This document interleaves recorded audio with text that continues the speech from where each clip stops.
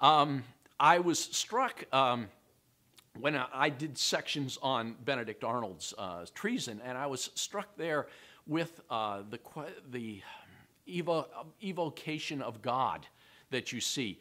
Most of the leadership in the American Revolution, uh, while they were religious, they were what we call today deists. They believed in a kind of Newtonian God, the great clockmaker, who kind of set things in motion and then stood back and was not involved in the day to day. They didn't see, uh, if you or I got an illness, they didn't see that as the, the, the result of a sin that you and I had uh, committed or something like that.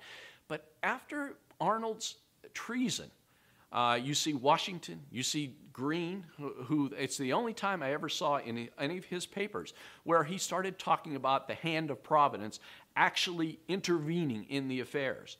And so you get, uh, I, I, was struck by this, that they really seemed to believe that God had come down and decided to uh, make, make a, a statement, if you will, on behalf of the American cause.